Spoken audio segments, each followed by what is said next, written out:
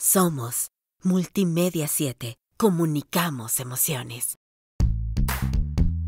Suéltalo, suéltalo,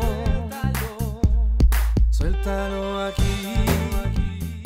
Ventaneando celebró 23 años al aire en televisión azteca, logrando posicionarse como el programa número uno del periodismo de espectáculos en México y América Latina. En ese entonces, eh, de, a partir de ese año, los únicos que continuamos se llaman Pedro Sola y yo.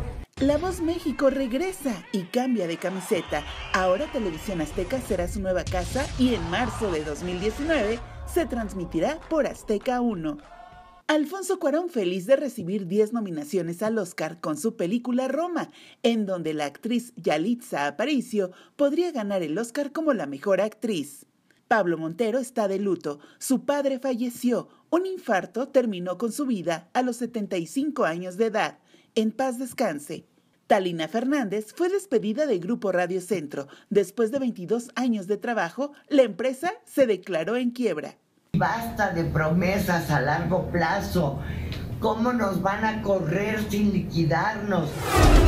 Gracias por sintonizarnos en Suéltalo aquí con Angélica Palacios. Soltamos lo que otros callan. Hasta la próxima. Multimedia 7. Comunicamos emociones multimedia 7, 7.